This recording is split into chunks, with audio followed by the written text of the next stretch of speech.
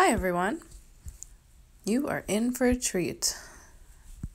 In this video, a speed through, I will be doing some spray ink fun in this new uh, Dylusions journal.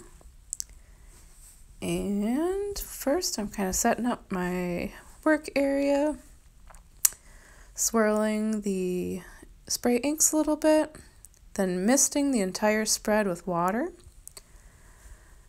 covering um, two areas of that page with the teal,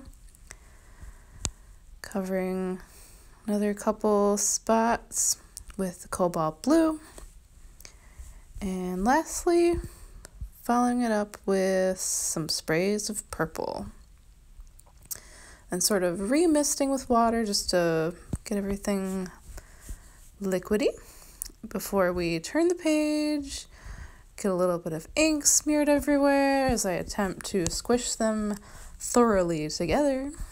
Peeling them apart reminds me of those Rorschach tests or those squish together tempera paint folded butterflies we made probably in elementary school art class.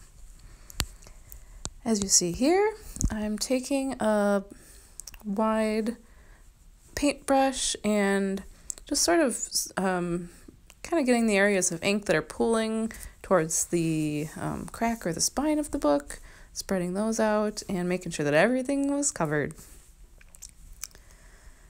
Next, I lay down a hand cut stencil. This one's yoga themed, yoga pose themed, spraying water through the holes of the stencil.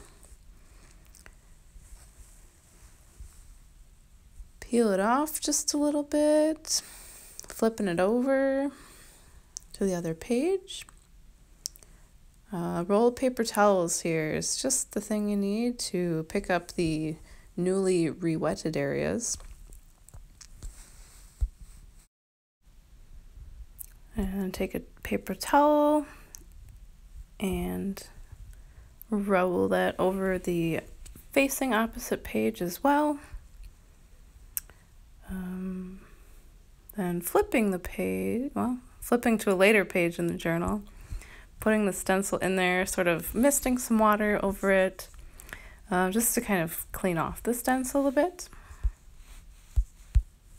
Next, I take a baby wipe and am running it over the stencil, which kind of, in a way, um, dilutes it, yet puts it uh, in the areas where the stencil film is not, the holes of the stencil, flipping it over, doing the same thing. This is sort of a twofold effect, cleaning it and also creating a little bit of texture to work on um, at a later point in the book. Finally, doing a little bit of cleanup here. As I thank you very much for watching and tuning in, please give it a thumbs up, subscribe if you haven't already, and I look forward to talking to you next time.